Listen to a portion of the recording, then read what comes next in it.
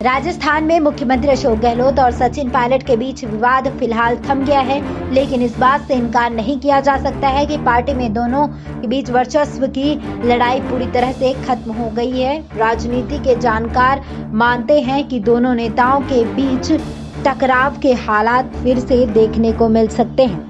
राजस्थान के अशोक गहलोत सरकार ने विधानसभा में विश्वास मत जीत लिया है। इसके साथ ही सदन की कार्यवाही 21 अगस्त तक स्थगित कर दी गई है। इसके बाद कांग्रेस की ओर से कहा गया कि गहलोत व पायलट की जंग खत्म हो चुकी है। मीडिया में लगातार खबरें चल रही हैं कि इस विवाद में सचिन पायलट, मुख्यमंत्री अशोक गहलोत पर भारी पड़े हैं। लेकिन इस पूरे प्रकरण में थोड़ा भीतर झांकने पर कुछ और ही बात समझ आ रही है। इसे दो घटनाओं से समझने की कोशिश करते हैं। पहला, अजय माकन को राजस्थान का प्रभारी बनाया जाना।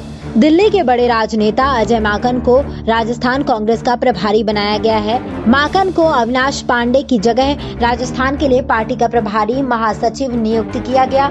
मीडिया में खबर आई कि अजय माकन की नियुक्ति सचिन पायलट की एक किस्म की जीत है। लेकिन थोड़ा पीछे जाने पर कुछ और ही कहानी देखने को मिल रही है।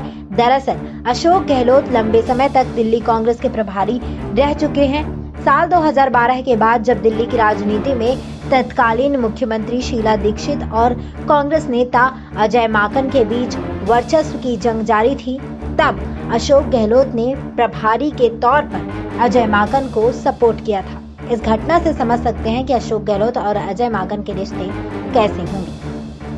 प्रियंका गांधी, वाड्रा और राहुल गांधी की दखल के बाद सचिन पायलट और अशोक गहलोत आपस में मिले और दोनों के बीच सारी बातें ठीक होने की बात कही गई। इस मुलाकात के दौरान मुख्यमंत्री अशोक गहलोत ने कहा कि अगर सचिन पायलट और उनके साथ गए विधायक नहीं भी आते तो भी वे बहुमत साबित कर देते। लेकिन अगर वे आ गए हैं तो और भी अच्छा है। यानी गहलोत ने सार्वजनिक रूप से संदेश देने की कोशिश की कि पायलट अपनी गरज से आए हैं, उन्हें उनकी खास ज़रूरत नहीं है।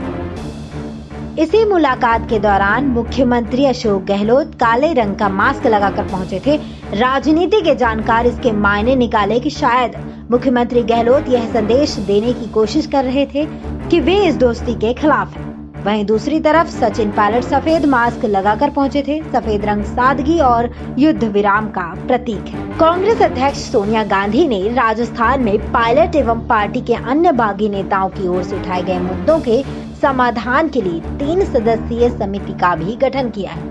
पार्टी के वरिष्ठ नेता अहमद पटेल अजय माकन तथा संगठन महासचिव के सी वेणुगोपाल समिति के सदस्य बनाए गए हैं। ये तीनों नेता मुख्यमंत्री अशोक गहलोत के करीबी माने जाते हैं।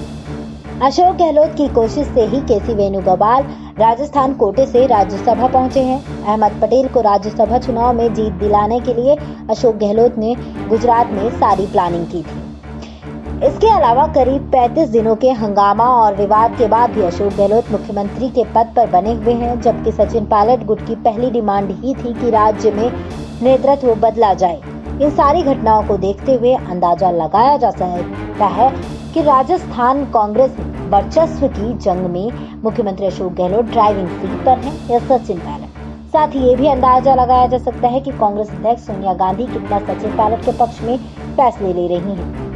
जानकारी सूत्रों एवं सूत्र स्रोत से प्राप्त है। इस जानकारी पर आपकी क्या राय है? कमेंट बॉक्स में कमेंट कर ज़रूर बताएँ। बाकी तमाम जानकारी के लिए बने रहिए हमारे साथ। एस नाइन न्यूज़ रूम से श्रुतिक रिपोर्ट।